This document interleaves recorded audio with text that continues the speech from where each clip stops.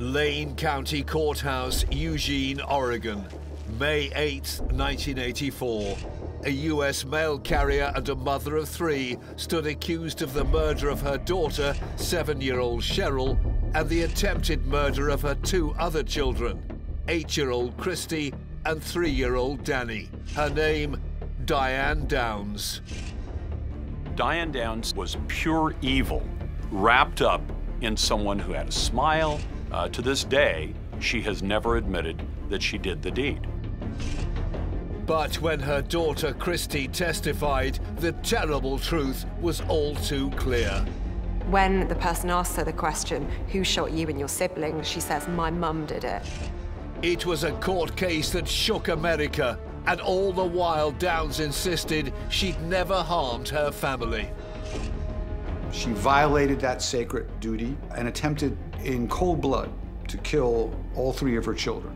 The callous murder of her daughter and attempted murder of her two other children makes Diane Downs one of the world's most evil killers.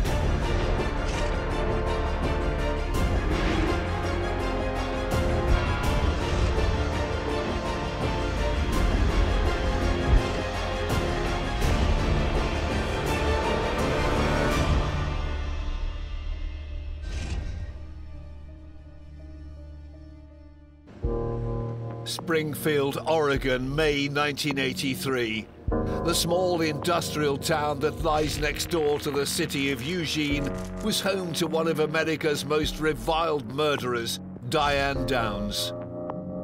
The 27-year-old mother had driven her three children to a remote location just outside of town. Diane Downs then pulled over to the side of the road and shot each of her three children. Seven-year-old Cheryl died. Her siblings Christie and Danny survived the ordeal, but were left scarred. This seemingly senseless attack stunned the nation.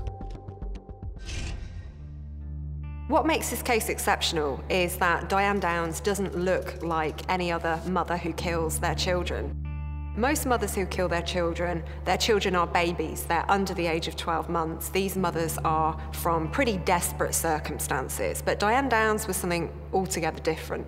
and we're talking about what the president did in deciding not to go Talk show host Lars Larson was a young investigative reporter assigned to the sensational story in 1983. This case involving Diane Downs really had everything. It had a mother, it had children, murder and sex and mystery, and you had an American murder suspect who had tried to murder her three children and succeeded with one of them and horribly wounded the other two.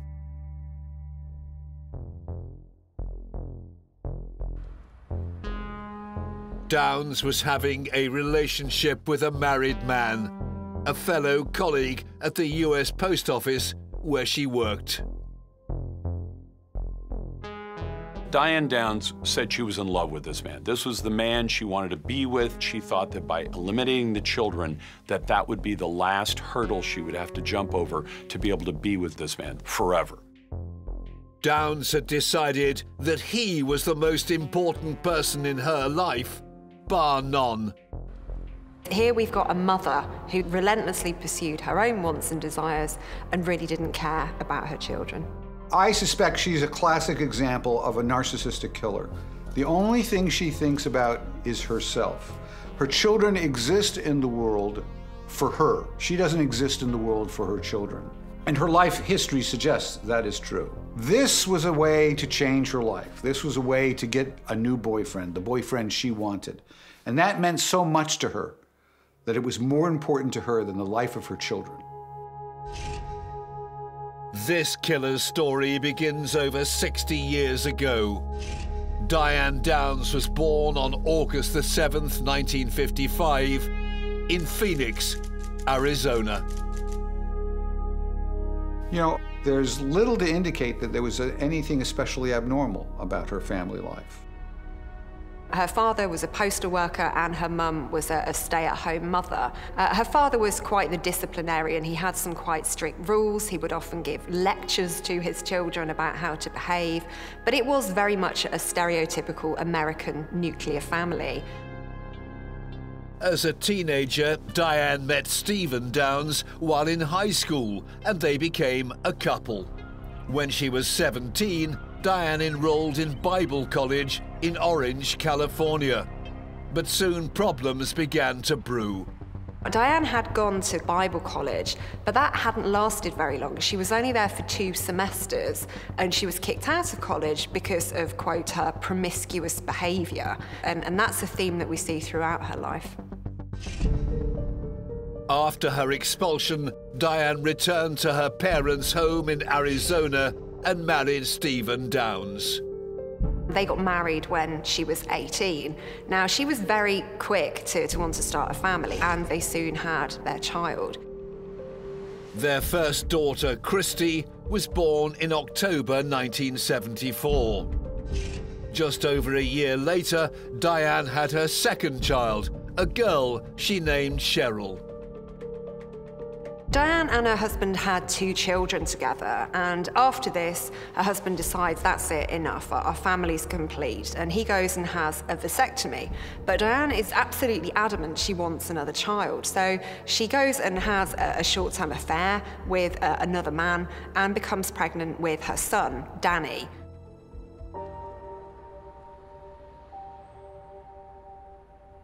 I suspect that she engaged in what I call instrumental sex. And what I mean by this is for some women, sex is a tool, it's a weapon. Uh, they want to get pregnant because they believe that that will create a relationship. Diane seemed to really enjoy the pregnancy stage of motherhood, but when the baby actually arrived, she didn't quite like that so much. There are lots of reports that she left the children alone, she left them unattended. When they got home from school, they were waiting on the porch for, for hours at a time. In 1980, Diane and her husband Stephen divorced. Soon after, Downs was pregnant again. That's because she'd volunteered to be a surrogate mother. At the time in the United States, there were approximately 100 surrogate mothers in the entire country. Now, those are the estimates at the time. So being a surrogate mom put you in a very rarefied piece of air. Y you were unique. And she was actually interviewed for a national newspaper in the early 1980s, and she very much seemed to enjoy that experience. So she's got a taste of, of that limelight, and, and she will use her, her role as a woman, her role as a mother, as a way to get people to look at her. In 1981, she was paid $10,000 by a couple desperate to have a child. Nine months later, Downs gave birth to a baby girl that she handed to the sponsoring couple. That same year, she got a job with the US Postal Service. There, she had an affair that would be the catalyst of catastrophe. He was a married man who she encountered. They, they were sexually involved. Surprise, surprise, this is what she does. And he was fine with just having an affair. But once Diane Downs wanted a real relationship with him, he, he was done. Now, she's had quite a lot of short-term relationships with people in this workplace, in, in the post office. And he believes that actually this is just going to be a bit of a fling because he knows what her reputation is. But she becomes quite fixated on him. She wants them to have a, a longer-term relationship. But instead, he ended things. He made it very clear to her he didn't want to raise her children and he didn't want to have children by her. And I believe at the point at which he says that to her is when she decided that if he won't have me with my children, maybe he'll have me without them. The key thing is that he doesn't want to be the stepfather to her children. So her children at this point in time, they become a barrier to her getting what she wants. By the end of 1981, Diane Downs had moved over 1,200 miles north to Springfield, Oregon. Now, after she moves to, to Oregon, she expects that he's just going to follow her. And actually, that doesn't happen. He's not interested. Diane Downs pursued the man she loved for nearly two years, writing and even visiting him to plead for his affections, to no avail. The cold hearted mother of three then came to an incredible conclusion. In order to be with the man she loved, she had to kill her children. Late in the afternoon of May the 19th, Diane Downs took her three children eight year old Christie, seven year old Cheryl, and three year old Danny on a fateful journey. They were headed to a farm in the small rural town of Marcola, just 12 miles away from their home in Springfield. She's going kind of out of the way from, from where she lived. She's on the opposite side of town. So she appears to be doing things that, that aren't particularly rational. The children had no idea that their mother had made a dreadful decision. In order to run away with a man she was obsessed with, Diane Downs had planned to kill her children that evening. When we see a killer who says, Well, I was going to kill my children and then I could be with this man forever, we say, Well, that's irrational. That's crazy. But to her, I think it made perfect sense. She's completely smashed any of our expectations about mothers. They should put their children first, and that is something that she's never done. Diane Downs drove her three children to a co-worker's house in Marcola. And her children get to see the horses and pet the horses, and she talks to this co-worker and they visit for a while. The problem was the woman she was visiting had no idea Downs was coming. This friend doesn't seem to be able to make sense of, of why Diane has suddenly turned up there. The unusual trip was part of Diane Downs's carefully designed murder plan. The visit to see the horses would serve as an alibi. She thought if I could just get rid of these three children, then I could go with the love of my life. But she had to do it, so she conspired for a long time. She arranged this phony visit to a friend's house that she never visited before. She conspired to be driving home late on a lonely road a long way from any houses or any activity. I believe that she was planning this for at least days, could have been even weeks. One thing that we need to understand about these crimes is that because she's driving down the street with a, a, loaded gun, which means before she stepped into that car, she knew she was going to kill her children. In keeping with her pernicious plan, after leaving the farm, Diane Downs packed the children in the car and drove to a carefully chosen site on Old Mohawk Road. She pulled over and got out of the car. We are talking about a premeditated homicide. This is something that the average person thinks of as inconceivable and impossible. With the children not suspecting a thing, she went to the trunk of the car. She pulled out a Ruger 22 caliber semi-automatic pistol, walked back to the driver's side with the gun in hand. When the children first see the gun, the, they have to be in total disbelief. It, it has to be inconsistent with all of their experiences. Then she knelt on the seat, leaned forward towards her daughter, seven year old Cheryl, and from about six inches away, fired.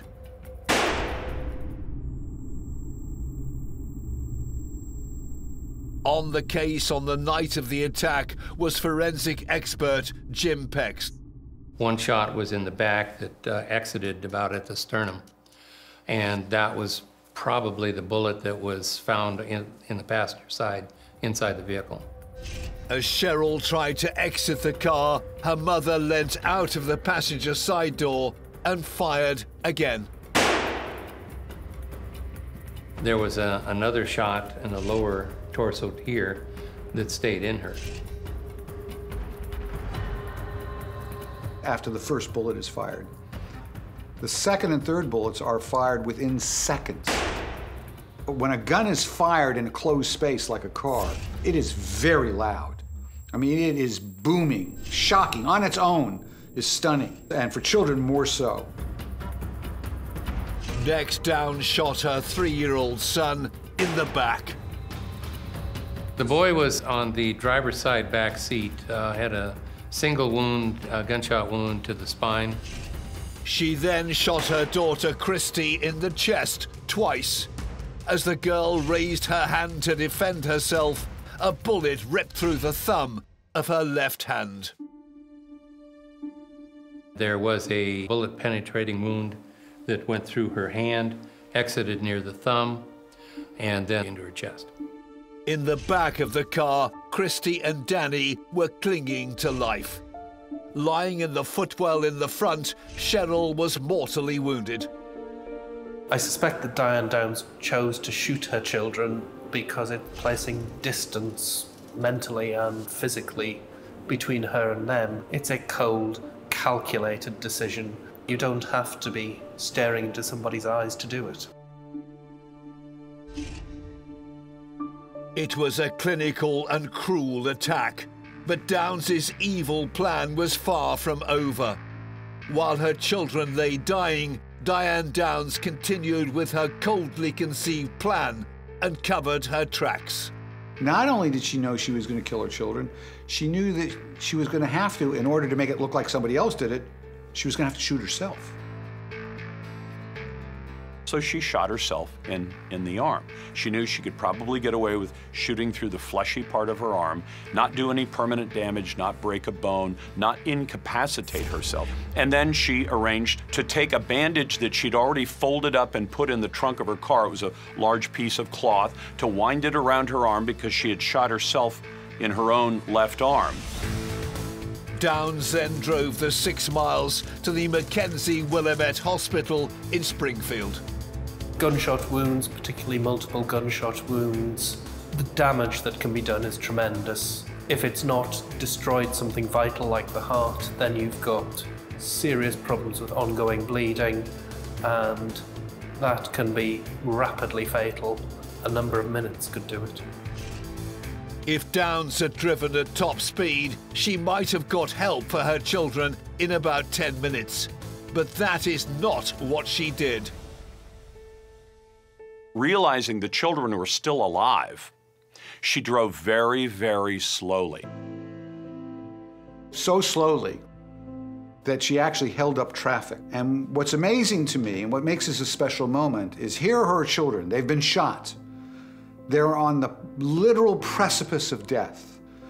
And, and she's traveling 10 miles an hour to make sure, from her perspective, that they don't get to the hospital on time. And we know this because of witnesses who pulled up behind her on the road, couldn't figure out why is she going so slowly? And because it was such a winding, lonely road, these people had to follow for a long period of time. That represents a sordid departure from her obligations as a mother like I have never seen. That was her last chance to save those children. That was the last chance for her superego, for her moral self to step in and say, I've got to stop. And it didn't happen. And, and that, that made it a truly horrible moment, maybe more horrible than the shooting itself. Because at that point, she proved herself beyond redemption. Downs's peculiar driving continued to attract attention from other cars and their curious passengers. A family that happened to be on the same road had a child in the car. I think he was eight or nine years old. And earlier in the day, they had seen a red automobile with Arizona plates, which happened to be red.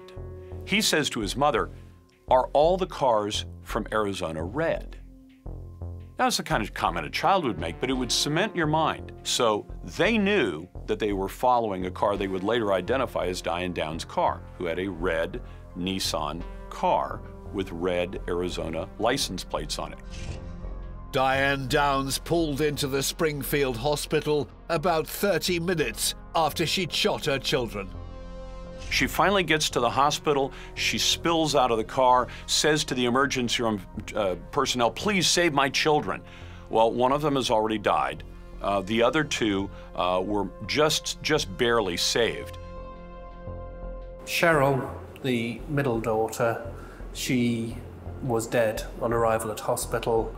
She had been shot and she had choked on her own blood. She died in pain.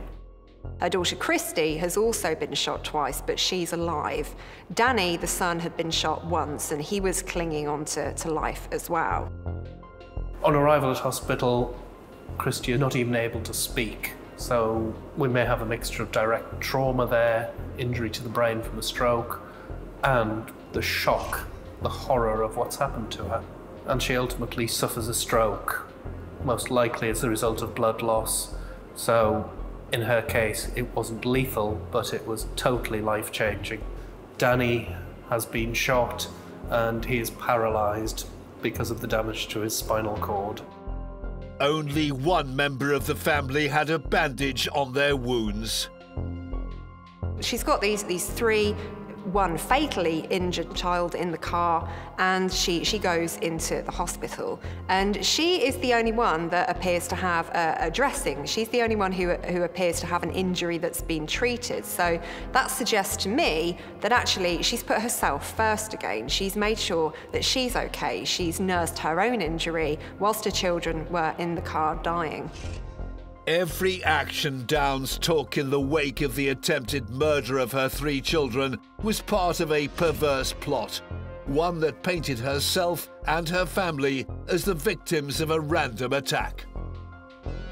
I think the fact in the case that is the most extraordinary is that after she mustered up whatever courage it took to shoot three of her children, um, she had to create the impression that somehow she was a victim.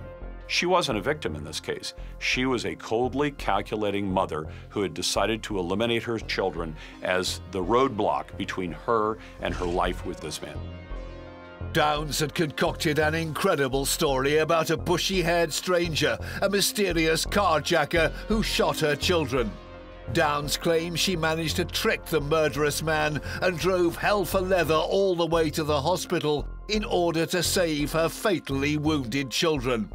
But as the investigation would soon prove, Downs' story was part of a desperate and devious scheme she'd formulated to get away with murder.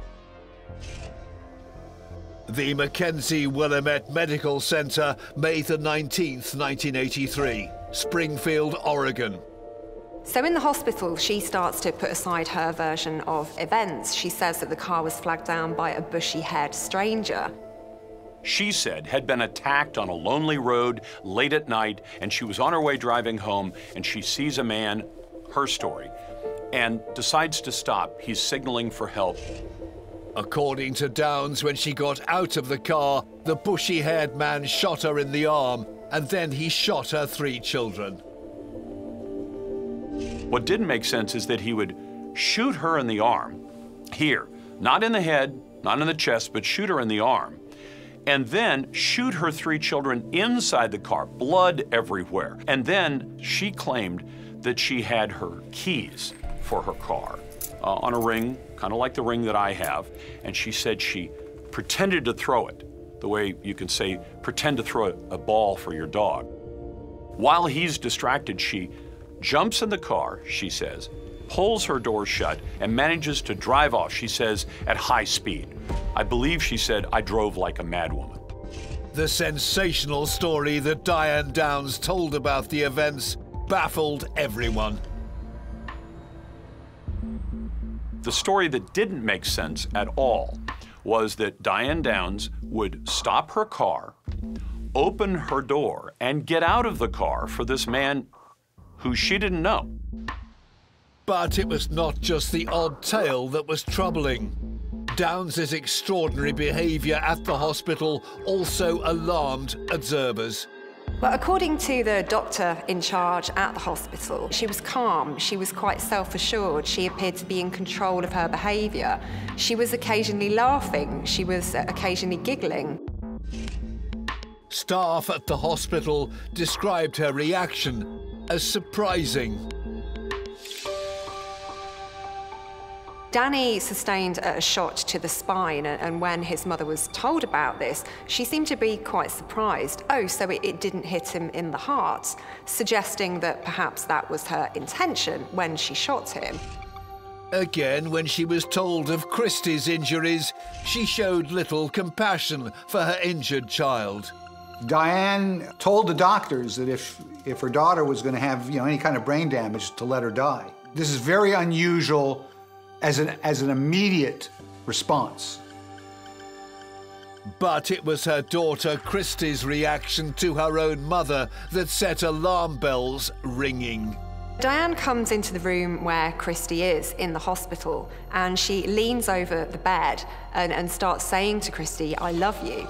And from the, the people in the room, they say that Christie looked absolutely terrified. They noticed that her heart rate had gone through the roof when Diane came into the room. So this is a little girl who is very frightened. She's afraid of her mother. And, and this is a, a really clear indication of that. She's scared that her mother is going to try and harm her again for one of the children to wake up with the memory that her mother shot her is it's just indescribable.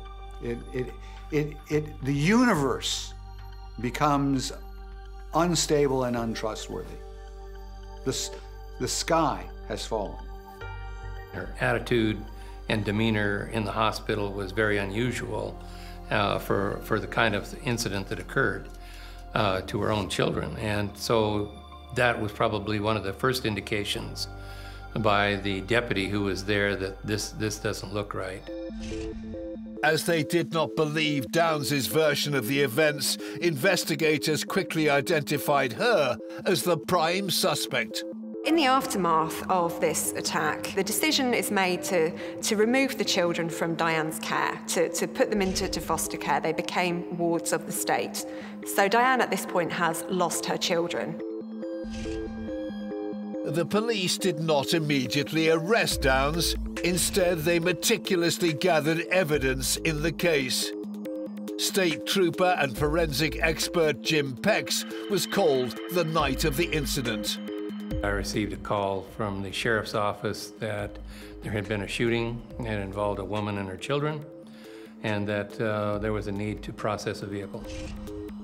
Jim Pex closely examined the entire car that night and in daylight the whole of the next day. When he looked at the passenger side door and the areas underneath the car, he made a series of discoveries that would break the case wide open. I spotted a blood stain in the door jamb of the passenger door, and the direction was wrong. It, it came from the outside According to Diane Downs, the bushy haired man was standing outside the vehicle on the driver's side of the car. But Jim Pex had found that the murdered girl's blood had spattered back onto the door jamb on the passenger side of the car, the opposite side to where the bushy haired man had supposedly attacked. You can see that there is a small blood stain uh, here, so the door was open at the time that this blood stain was created outside the vehicle. The blood spatter meant the victim, in this case seven year old Cheryl, was shot at least once when she was outside the car on the passenger side of the vehicle. Strings are used to show the position of the origin of these blood stains uh, from when they traveled through the air and struck the side of the vehicle. Crucially, Jim Pex also found some tiny droplets of blood under the car as well, on the rocker panel, on the passenger side. This particular slide shows the rocker panel that's underneath. You can see on, here, on this lower portion here, there are a number of very small blood stains. These are probably one to two millimeters in size. This discovery led Jim to an irrefutable conclusion. When I found the blood spatter outside the vehicle, that was, uh, you know, something is amiss in this story because that's a long ways away to shoot someone who is very close to the rocker panel. And I knew from the size of the droplets that it was created by someone who's coughing blood or uh, contact, near contact shot. The muzzle would have to be close to get droplets that were that small. And you have to stop back and think when the individual uh, the bushy-haired stranger allegedly is standing outside the driver's door. That takes some pretty long arms to get clear over there and outside the passenger door. What Jim Pex did not find further confirmed their suspicions. There were no blood spatters on the driver's side of the car at all. If the bushy-haired man had attacked as Downs had said, Jim would have expected to find blood spatters on the driver's side of the car, but there were none. So the, again, it arouses our suspicions in law enforcement uh, that something is amiss here, someone's not telling the truth. It was clear to Jim Pex and his fellow detectives that whoever shot seven-year-old Cheryl could not have been standing outside the car on the driver's side. The evidence also showed that the shooter fired the gun within inches of the victim's body. And that was significant in her case because one of the children had tried to open the car door to escape, either because Diane Downs was shooting the two kids in the back or because she had already been shot and fell out of the car and she was shot again. More evidence uncovered in the car showed how Christie and Danny had been shot and where those shots came from. In looking at the, at the clothing that all of the children had on, I was able to do specific tests to determine how far away the end of the muzzle was from each of them at the time that the shot was fired. You can tell both from powder burns, because when, when the bullet is fired, there's a certain amount of, of powder that comes out, and it's still burning. If a gun is fired at very close range to either clothing or to skin, it will cause burning around that that you will not see if somebody is shot from a greater distance. Jim Pex concluded the two children in the back seat had been shot by someone who'd fired from inside the car and from point blank range. Detectives now had proof that Diane Downs' story about a mysterious bushy haired stranger was a lie. Whoever shot the children must have been inside the car when they fired the fatal shots. The physical evidence, the blood splatter evidence did not conform to the way she described the crime. So it became pretty apparent pretty quickly that she was the perpetrator. Meanwhile, Diane Downs was left free to talk to the press and protest her innocence. It was decided to go ahead and continue to let her talk because we knew there was a relationship to her with this shooting. And so she, she continued to uh, harangue law enforcement and imply that we're looking at her and that we weren't looking for the bushy-haired stranger. Yeah, she was right, we weren't. Downs was now the only suspect in the murder of her daughter Cheryl and the attempted murder of her other two children, Christie and Danny. All three had been shot at night in the family car on a lonely country road after a day out. When forensic expert Jim Pex found spent bullet cases inside the car, he determined that all the victims had been shot with a 22 caliber semi-automatic weapon. So they issued a warrant and searched Diane Downs' house in Springfield. The police are quite surprised at what they find. This does not look like a family home. This looks like the home of a rather narcissistic single woman.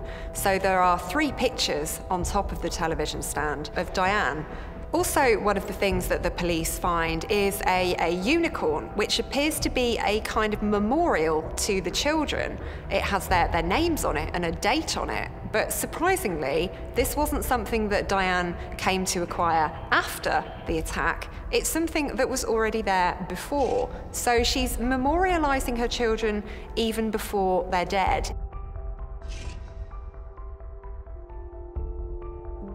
The question becomes, how can a mother maim two of her children and kill another child and live with herself? And the answer is she can live with herself only if the only thing in her universe was her narcissism and herself. Her children don't exist. They, from her perspective, was an obstruction between her and her new love. Beyond that, they were nothing. When the detectives found Downs's diary, her motivation for attempting to murder her three children was eerily clear. In that diary, she talks an awful lot about the co worker that she's become incredibly fixated on. And it becomes quite clear to police that this relationship with him is the reason that she's tried to kill her children, was because they were the barrier, they were the obstacle that was standing in the way of her relationship with him. During the search, the police also found a 22 caliber rifle, and their hopes were piqued. It was certainly suspicious it's a 22 rifle. So, you know, is this potentially the murder weapon? We took the rifle back to the crime laboratory. I test fired the rifle and compared the, the tool marks created by the rifle to the cartridge casings that were found at the scene. They were different. So the rifle was not used in the commission of this crime.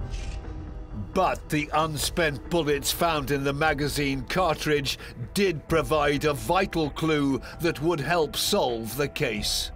Even though the marks on the cartridges from the rifle didn't match test fires that I performed with the rifle, they had the same extractor marks on them as the casings that I retrieved from the vehicle. The extractor marks are made on the soft shell casing when a bullet is ejected from the barrel of a gun. The way the gun gets rid of that bullet is a thing called an ejector. As that gun cycles, pulls the shell back and then kicks it out of a port and, and it's gone and then chambers another round. Let's say you have a pistol that's already loaded and you decide I want to unload the gun. You would then release the magazine, that's all the other bullets, and then pointing it in a safe direction.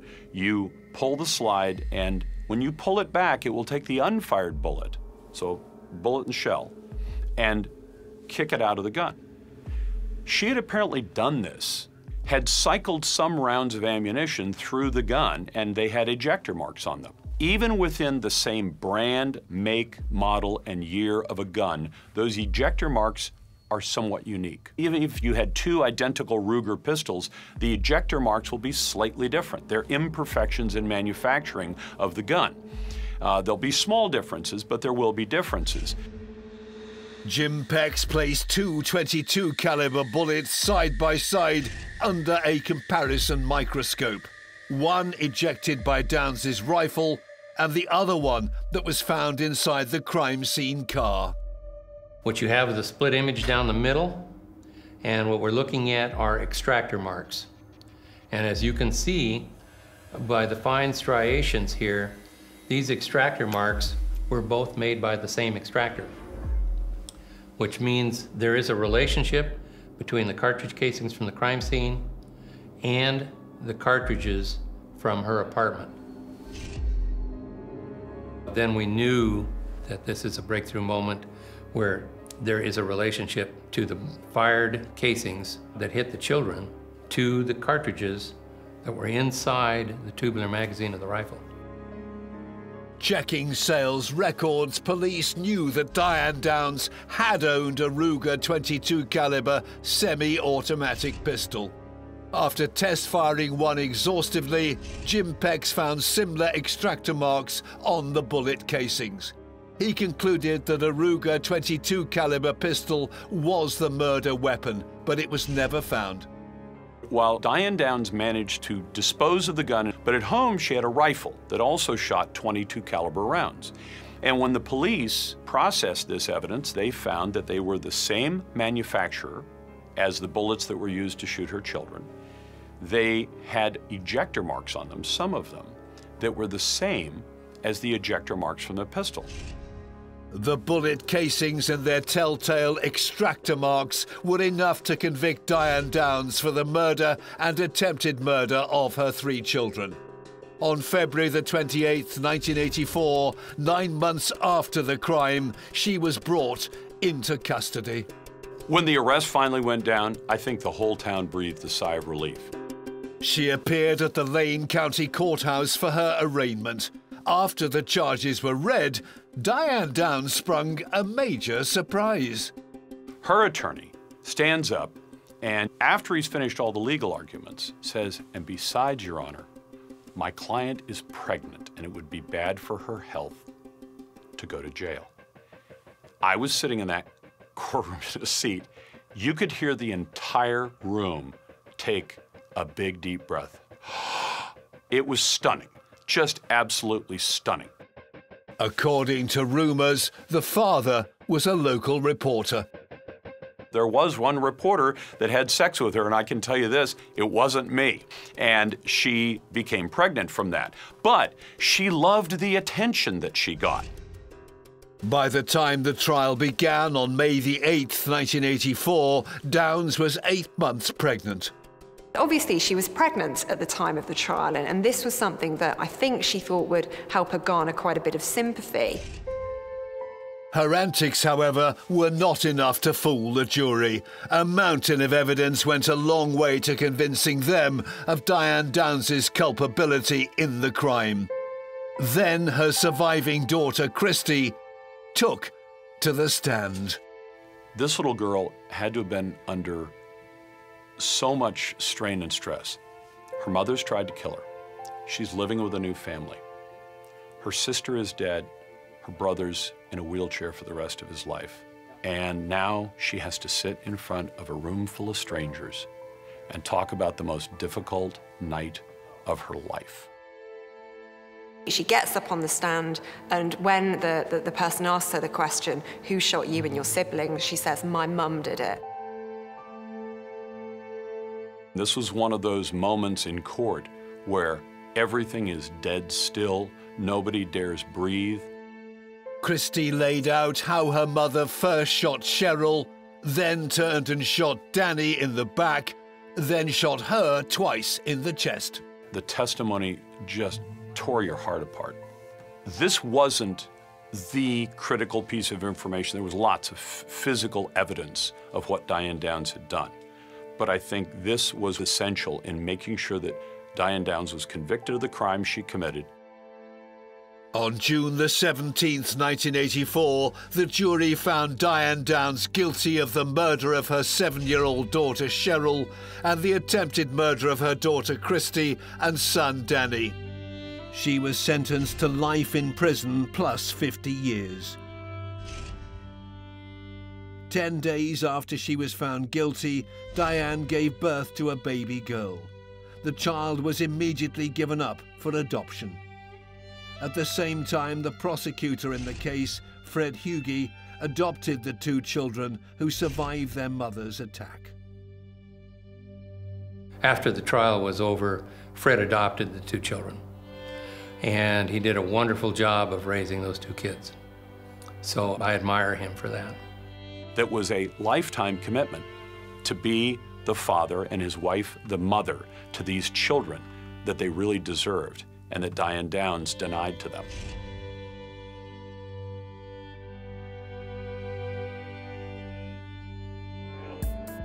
In prison, Diane Downs managed another surprise. On July the 11th, 1987, three years after her incarceration, she escaped. She got out of the prison easy as pie, climbed the fence. She was loose for more than a week, and she was only about 10 blocks away. She was staying with some men. Later, one of the men said he thought she was trying to get pregnant. Diane Downs, the mother who tried to kill her three children, was returned to prison, where to this day she protests her innocence. I can tell you that for all the stories I've covered, Diane Downs stands out because this woman was pure evil. She did something that's unheard of. She violated that sacred duty uh, and attempted in cold blood to kill all three of her children for no other reason than to increase her chances at having a particular boyfriend. I don't think there is anything worse than, than this kind of betrayal by your own mother. Your, your mother is the, the one that should nurture you, should protect you. The cold-hearted murder of her daughter Cheryl and the attempted murder of her two other young children, Christie and Danny, makes Diane Downs one of the world's most evil killers.